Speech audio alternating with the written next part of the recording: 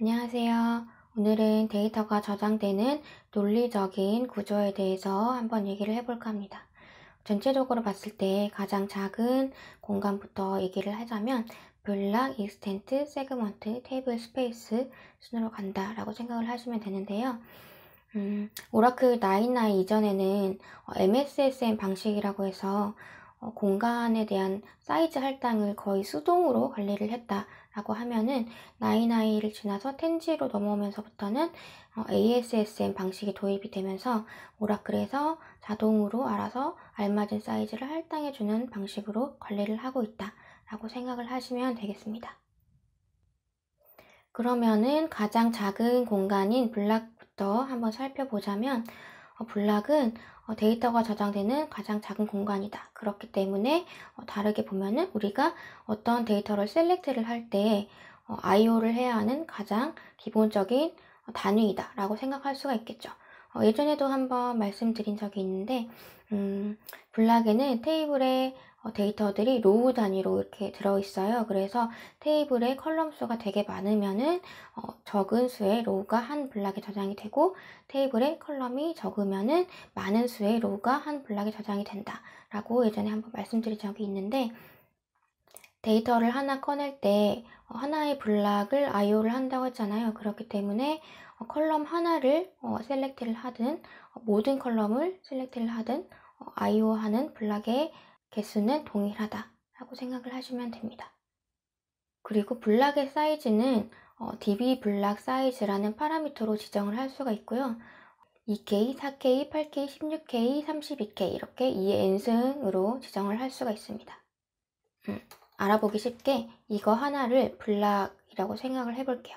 만약에 우리가 DB 블락 사이즈를 8K라고 할당을 했다라고 하면은 음, extent의 사이즈는 아까 말했던 ASSM 방식에서는 오라클이 알아서 할당을 해주는데 예를 들어서 블락이 8K이고 익스텐트가 64K로 할당이 되었다라고 하면은 88에 64니까 이렇게 블락 8개가 하나의 extent가 된다라고 생각을 하시면 되고요. extent는 어, 데이터베이스가 공간을 할당하는 가장 작은 단위라고 생각을 하시면 되는데요. 아까 말했던 그 저장 단위랑은 조금 다른 개념이고요. 만약에 테이블에서 어, 데이터를 막 쌓다가 공간이 부족해졌다라고 하면은 어, 데이터베이스에서 이렇게 하나 extent를 할당을 해주면서 이 정도를 더 써라라고 주는 거라고 생각을 하시면 됩니다.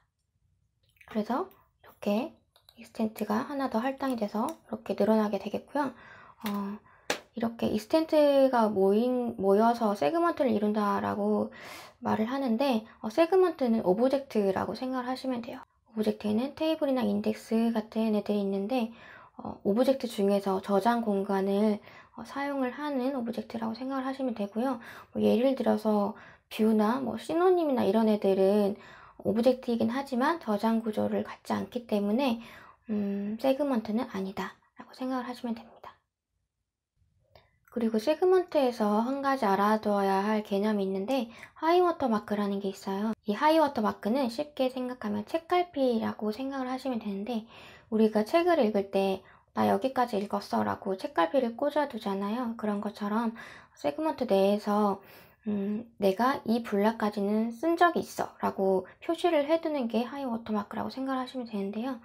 음, 예를 들어서 이렇게 segment가 있다라고 했을 때 어, 내가 할당받은 공간 중에서 여기까지 뭐 쓴 적이 있다 라고 하면은 여기를 표시를 해두는 거죠 high water mark로. 근데 만약에 이 전에 있던 데이터가 delete가 돼서 지워졌다 라고 하면은 free list로 이렇게 구멍이 뚫리게 되겠죠. 하지만 high water mark는 계속 여기다. 근데 high water mark가 약간 생각하셔야 될 게 우리가 table full scan을 할 때는 이렇게 high water mark 아래에 있는 block들을 다 이렇게 스캔을 한다고 생각을 하시면 되는데 중간에 구멍이 뚫린 공간들이 많다면 뭔가 비효율이 발생을 하게 되겠죠. 근데 이 high water mark도 그 ASSM 구조로 올라오면서 뭐 하위 high water mark가 따로 생기는 어, 그런 개념들이 생기긴 했는데 어, 그렇게 디테일하게까지는 어, 알 필요는 없을 것 같고요. 그냥 어, 책갈피 개념 정도이다 라고 생각을 하시면 될 것 같습니다. 그리고 만약에 이 high water mark 아래에 free block들이 너무 많이 생겨가지고 비효율이 발생을 한다라고 하면은 뭐 truncate 같은 명령어들로 high water mark를 초기화 시켜줄 수가 있어요. 그리고 이런 segment들이 모여서 어, tablespace를 이루게 되는데요. tablespace는 segment들을 담고 있는 거대한 컨테이너다 라는 정도로 생각을 하시면 될 것 같습니다. 음, 데이터가 저장되는 구조에 대해서 간단하게 설명을 해보았는데요. 음, 조금 도움이 되셨는지 모르겠네요. 지금 아침이어서 이제 출근을 해야 되는데 어, 출근 전에 간단하게 한번 설명을 해드리려고 어, 카메라를 켰고요. 벌써 12월이 돼서 연말이 됐는데요. 2019년이 한 달도 남지 않았다고 생각을 하니까 약간 마음이 조급해지는 것 같아요. 2020년이 되기 전에 빨리 해야 할 것들을 조금씩 정리를 하고 있는데 자이언티의 눈이라는 노래에 이런 가사가 있잖아요. 지금 잠이 들고 나면 오늘은 어제가 되어버려요. 약간 그런 느낌인 것 같아요. 지금이 지나가 버리면은 2019년이 굉장히 먼 과거가 되어버릴 것 같은 그런 느낌이 드는데 어, 여러분들도 어, 연말 마무리 잘 하시길 바라겠고요.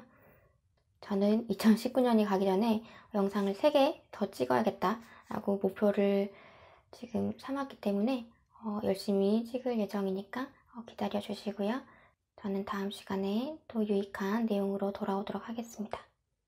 좋은 하루 되세요. 안녕.